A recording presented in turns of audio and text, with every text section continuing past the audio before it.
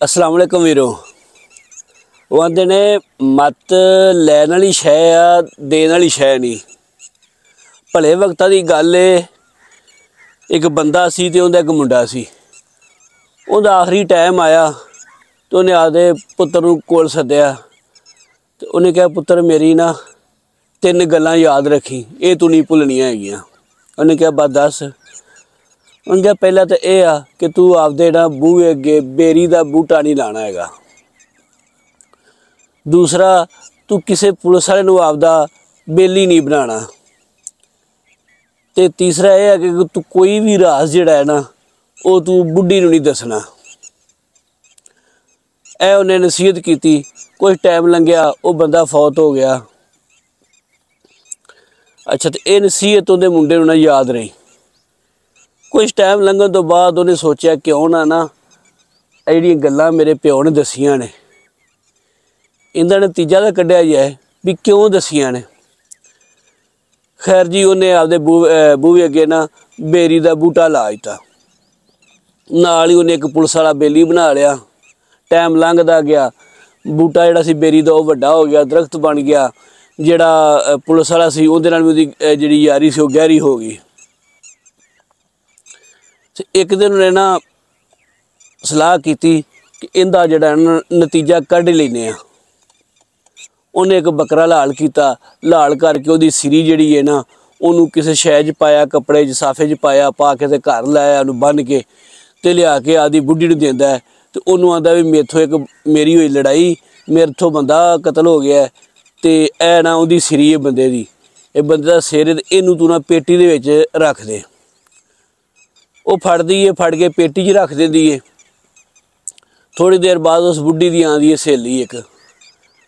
ਤੇ ਉਹ ਜਦੋਂ ਸਹੇਲੀ ਆਂਦੀ, ਉਹਨੂੰ ਕਰਦੀ, ਨਹੀਂ, ਇਸ ਤਰ੍ਹਾਂ ਮੇਰੇ ਬੰਦੇ ਤੋਂ ਬੰਦਾ ਮਰ ਗਿਆ ਤੇ ਉਹਨੇ ਮੈਨੂੰ ਉਹਦਾ ਸਿਰ ਦਿੱਤਾ ਤੇ ਮੈਂ ਰੱਖਤਾ ਪੇਟੀ ਦੇ ਵਿੱਚ। ਤੇ ਤੂੰ ਮੇਰੀ ਸਹੇਲੀ ਏ, ਮੈਂ ਤੇਰੇ ਕੇ ਤਾਂ ਨਾਂ ਲੈਣੀ ਵੀ ਤੂੰ ਕਿਸੇ ਨੂੰ ਦੱਸਣਾ ਨਹੀਂ।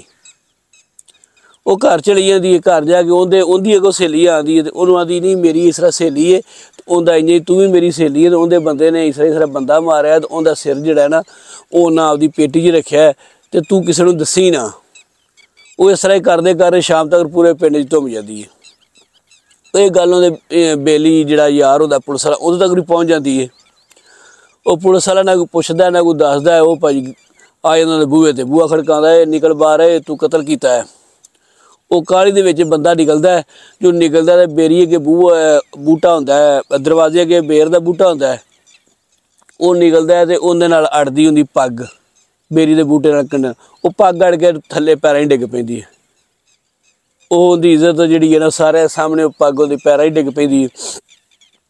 ਦੂਜਾ ਪੁਲਿਸ ਵਾਲਾ ਨਾ ਕੋਈ ਪੁੱਛਦਾ ਨਾ, ਦੱਸਦਾ ਹੈ, ਅਲੱਗ ਉਹਦਾ ਬੇਲੀ ਹੁੰਦਾ ਵੀ ਤੂੰ ਕੀ ਵਾਕਿਆ ਉਹਨੂੰ ਹੱਥਕੜੀ ਲਾਉਂਦਾ ਤੇ ਕਰਦਾ, ਚੱਲ। ਉਹ ਬੰਦਾ ਤਾਂ ਇੱਕ ਮਿੰਟ ਯਾਰ ਨਾ, ਇੱਕ ਮਿੰਟ।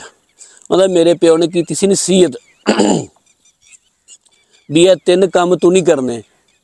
ਤੇ ਅੱਜ ਉਹ ਮੈਂ ਕੀਤੇ ਨੇ ਤੇ ਉਹਦਾ ਨਤੀਜਾ ਹੈ। ਹਾਲਾਂਕਿ ਗੱਲ ਇੰਜ ਨਹੀਂ। ਉਹ ਅੰਦਰ ਜਾਂਦਾ ਹੈ, ਅੰਦਰ ਜਾ ਕੇ ਉਹ ਕਪੜਾ ਲੈ ਆਉਂਦਾ, ਉਹਦੇ ਵਿੱਚ ਬੱਕਰੇ ਸਿਰ ਸਿਰ ਹੁੰਦਾ ਉਹ ਆਂਦਾ ਇਹ ਵੇਖੋ, ਇਹ ਤਾਂ ਬੱਕਰੇ ਦਾ ਸਿਰ ਹੈ ਤੇ ਮੈਂ ਸਿਰਫ ਇਹ ਅਜ਼ਮਾਨ ਵਾਸਤੇ ਕੀਤਾ ਸੀ। ਤੇ ਉਹ ਮੇਰੇ ਪਿਓ ਦੀ ਜਿਹੜੀ ਗੱਲ ਹੈ ਨਾ, ਉਹ ਸੱਚੀ ਹੋ ਗਈ ਹੈ। ਹੁਣ ਇਹਦੇ ਵਿੱਚ ਸਾਡੇ ਵਾਸਤੇ ਇਹ ਆ ਕਿ ਇਹ ਨਹੀਂ ਕਿ ਜਿਹੜੀ ਬੁੱਢੀ ਹੈ, ਉਹ ਬੇਵਫਾ ਹੁੰਦੀ ਹੈ। ਬੁੱਢੀ ਬੇਵਫਾ ਨਹੀਂ ਹੁੰਦੀ, ਅਸਲ ਵਿੱਚ ਬੁੱਢੀ ਦਾ ਜ਼ਿਹਨ ਕੱਚਾ ਹੁੰਦਾ ਹੈ। ਉਹਦੇ ਦਿਲ 'ਚ ਕੋਈ ਗੱਲ ਰਹਿੰਦੀ ਨਹੀਂ। ਇਸ ਵਜ੍ਹਾ ਤੋਂ ਉਹਦੇ ਪਿਓ ਨੇ ਕਿਹਾ ਸੀ ਕਿ ਕੋਈ ਗੱਲ ਬੁੱਢੀ ਨੂੰ ਨਹੀਂ ਦੱਸਣੀ।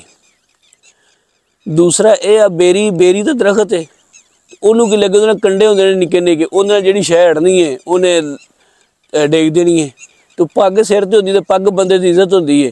ਤੇ ਉਹ ਅਕਸਰ ਜੇ ਇੱਕ ਬੰਦਾ ਲੰਘੇ ਤੇ ਉਹ ਪੱਗ ਅੜ ਜਾਣੀ ਉਹਨੂੰ ਤਾਂ ਨਹੀਂ ਨਾ ਕਿਸੇ ਗੱਲ ਦਾ ਪਤਾ।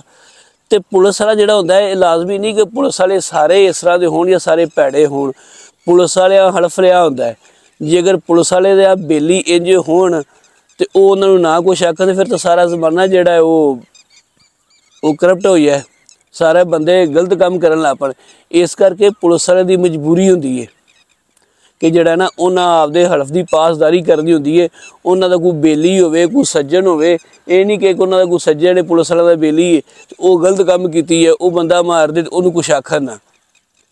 ਇਸ ਕਰਕੇ ਪੁਲਿਸ ਵਾਲਿਆਂ ਦੀ ਮਜਬੂਰੀ ਹੁੰਦੀ ਹੈ ਤੇ ਇਹ ਸਾਨੂੰ ਤਿੰਨ ਸਹੀਤਾ ਜਿਹੜੀਆਂ ਉਹਨੇ ਦਸੀਆਂ ਆਦੇ ਪੁੱਤਰ ਨੂੰ। ਤੇ ਤੁਹਾਨੂੰ ਅਗਰ ਇਹ ਜਿਹੜੀ ਮੇਰੀ ਵੀਡੀਓ ਹੈ ਇਹ ਚੰਗੀ ਲੱਗੀ ਹੋਵੇ ਤੇ ਮੇਰੀ ਵੀਡੀਓ ਨੂੰ ਲਾਈਕ ਕਰਿਆ ਜੇ ਤੇ ਚੈਨਲ ਨੂੰ ਵੀ ਸਬਸਕ੍ਰਾਈਬ ਕਰ ਦਿਆ ਜੇ।